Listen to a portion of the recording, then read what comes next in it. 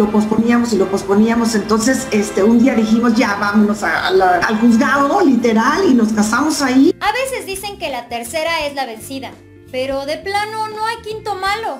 Ahora quien nos acaba de sorprender y nos deja con la boca abierta es Laura Flores, ya que esta actriz de 57 años de edad compartió una fotografía donde aparece al lado de su esposo, Matthew Flannery, al pie del altar de una iglesia.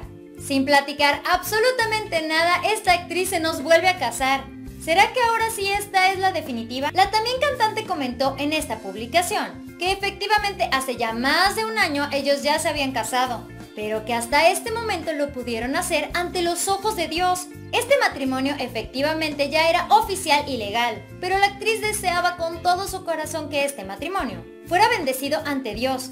Esta pareja aproximadamente lleva poco más de un año, legalmente casada después de que en el 2019, Matthew le entregara su anillo de compromiso.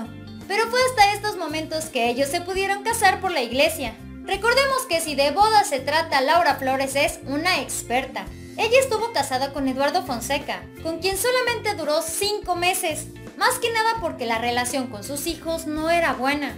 Laura Flores también tuvo matrimonios fallidos, con Sergio Facelli, José Ramón Díez y Miguel Durán. A través de una pequeña entrevista con el programa de primera mano, Laura Flores platicó sus detalles de este enlace ante los ojos de Dios. Laura platicó que efectivamente esta vez fue más que nada una bendición. Tal cual, tal cual no fue una boda porque ellos ya estaban casados pero sí contó muchos más detalles. Y de hecho nos platicó cómo fue que sucedió. La iglesia luterana nos dio su bendición, una cosa muy sencilla, terminó la misa regular del domingo y pues nos dio su bendición ahí. Esta actriz, a quien recientemente vimos en el programa ¿Quién es la máscara?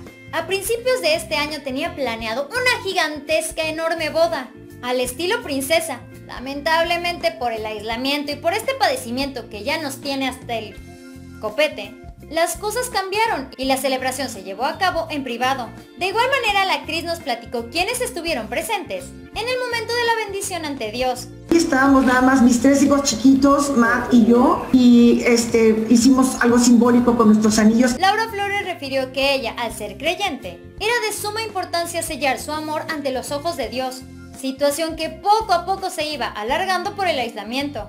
Para Laura, algo muy importante era decirse esas palabras de amor frente a Dios. Parece ser que este año en definitiva terminará muy bien para Laura Flores, quien además hace unos cuantos días declaró para el periódico El Universal que va a regresar a la música. Tal parece ser que el haber participado en Quién es la Máscara le devolvió ese ánimo por la música. La también actriz comentó que grabará canciones que hace años tuvo la oportunidad de escribir. Y fue precisamente a este show que se dio cuenta que podía grabar otros géneros. No porque alguien te diga que eres bueno en el pop, te quedarás ahí para siempre. Puedes cantar rancheras, banda, hip hop, RB, lo que tú quieras. Por lo que en definitiva en un futuro muy cercano sabremos más detalles acerca de la vida de Laura Flores.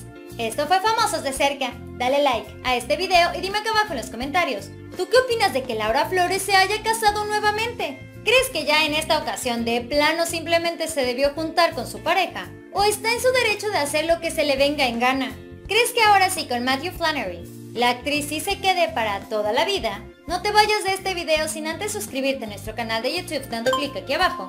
Al igual que seguirnos en nuestra página en Facebook. Recuerda que estamos subiendo contenido todos los días. Nos vemos muy pronto. Bye.